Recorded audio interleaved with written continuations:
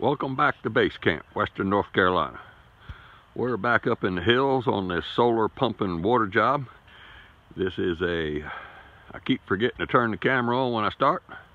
We framed out this little six by nine. This is gonna be the solar, the, uh, you can see the well in the back corner. And this is gonna be control, have all the solar panels on the roof, all the controls for it. There's gonna be a recharge pump in here. We'll go over the whole system. Uh, got a little shed roof out the back and what that's going to do is that's going to hold that big black tank. When we get to that point right there that'll be underneath that roof. And the whole purpose of this thing is to supply water to the pasture to these animals. Uh,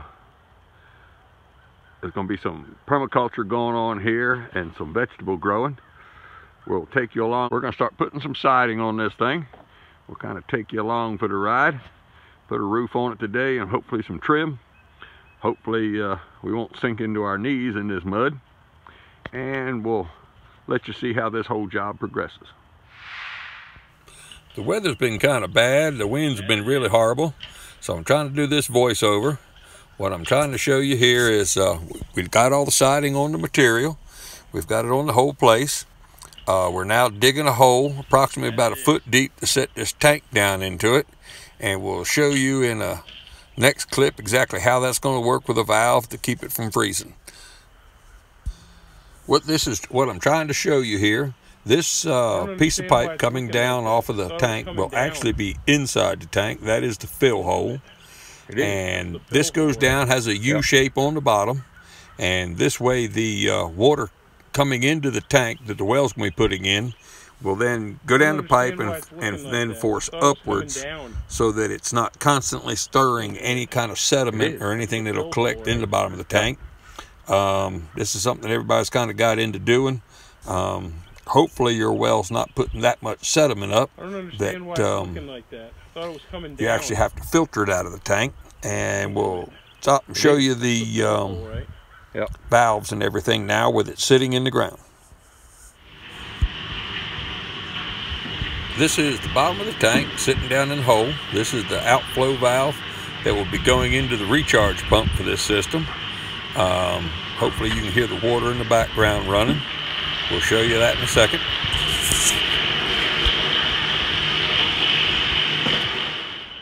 A little bit better angle here. Uh, as you can see, we have the lid off on the charge controller. We have it temporarily hooked up. We're getting water flowing into the tank. We've got to do a bunch of wire up the solar panels yet and get all the wiring in.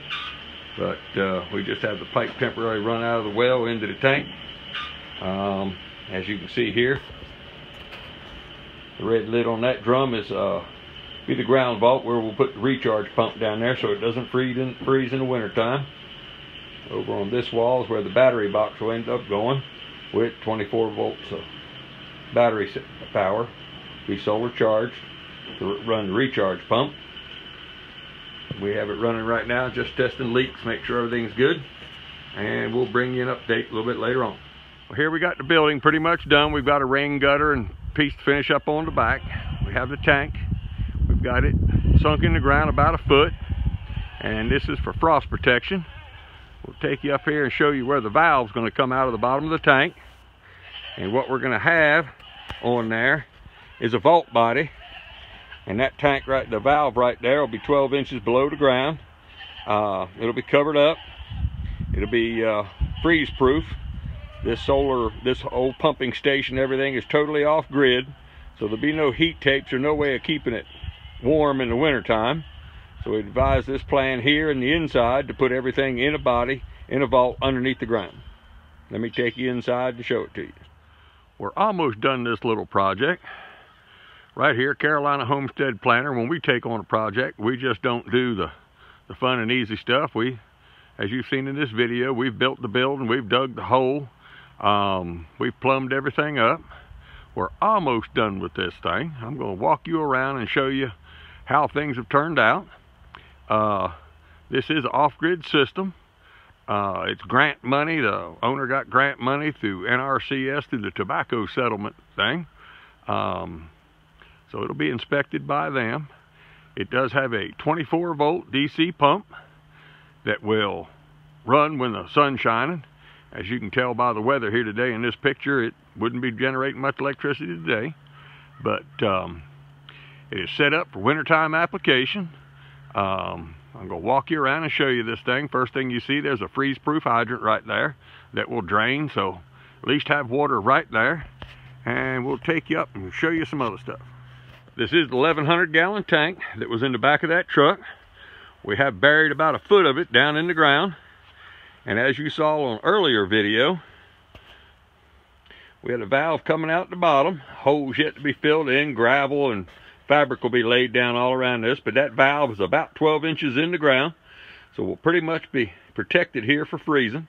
It's right outside of Asheville. It's only about 1,600 foot in elevation, so the winters aren't that hard. Um, we have the tank. The wire coming out the top is the float. And this piece of pipe right here comes down out of the building. We've got it set like this so that it'll feed in the wintertime. It'll drain into this tank. There's no float to push or anything else, so when the pump cuts off, everything will drain this way.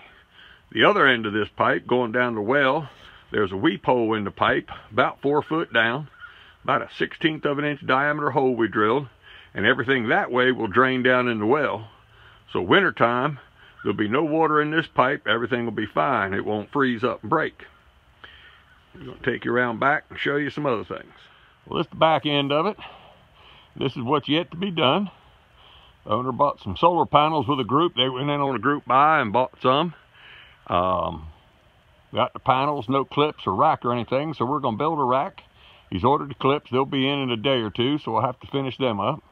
There'll be three solar panels on the back end of this thing, right down here at the bottom, so that wintertime, if they get snow on them, you can come up here with a broom and get the snow off. Uh, two of the panels be rigged up for 24 volts that'll run the pump. One panel will be charged 12 volts, which will be charging the, the 12 volt battery for the booster pump. And we're going to sneak inside and we're going to show you what that looks like. Okay, we're inside this little hut right now. And once again, there's the well. And that pipe goes up and goes out the ceiling. A little bit of a pain. That way, if we walk around the tank on the back side, we don't have to crawl around that pipe. But Like I said, it's mainly there. Down in this well, about four or five foot, there's a little hole in that black pipe. And it'll drain down this side, so we don't have to worry about freezing. As you saw in this other video, there's the charge controller. When we get the solar panels hooked up, we'll be able to put that in. Um, a convenient shelf right there. The bottom shelf is where the batteries will sit. I like having something over top so nobody drops anything on the terminals of the battery. And then in that earlier video, we showed this drum right here. This is a 30 gallon drum. This is the recharge pump to pump the pressure in the water. Uh, this is the water coming in from the tank, goes in. There's a little sediment filter right there. Pump right there. This is the outgoing line that goes out to that hydrant, and then it'll go into the total water system. This is a Flojet pump. It is 12 volts. It is a Haas. Let me give you the information on that thing if you're interested. Okay, here's the information. It's a pretty good size pump. It does six gallons a minute. Um, it does draw a good bit. It's drawing like 18 amps, so it's going to really pull. This pump will push water vertical 160 feet. At 160 feet, it's a trickle, so at best, you know, 100 good 100 foot of lift. It'll supply all the waters and everything out here. This is what the owner wanted to go with.